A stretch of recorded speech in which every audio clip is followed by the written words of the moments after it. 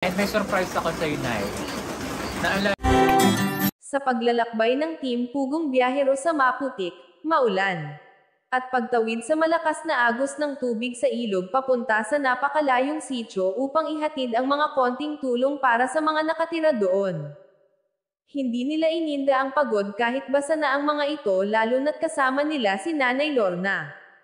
Nagawa pa rin nilang tumawa at ang naturang matanda naman kakanta-kanta pa sa daan at halos doon na sila natulog sa gabi iyon dahil nga po sa malakas na ulan at ayon nga po may surprise si Sir Paul Pugong biyahero kay Nanay Lorna dahil pinadalhan pala ni Miss Terra ang Canadian na pinaiyak niya sa Maynila noon kung matatandaan nyo at bibisitahin pa daw nito ang matanda sa Davao pagbalik niya muli ng Pilipinas.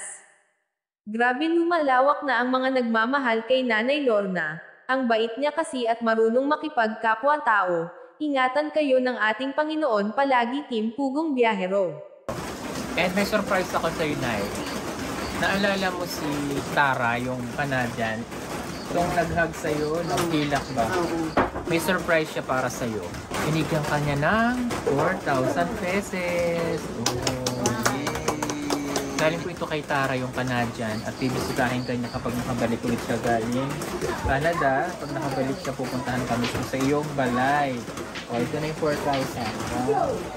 2, 3, 4. Thank you. Thank you, Ate Tara. I love you. Thank you so much. Tanggal ang aming pagod kapag nakita mo silang masaya. Maliit na bagay, maliit na halaga, pero tagos sa puso ang aming pasasalamat sa ating sponsor, Itita. Peace.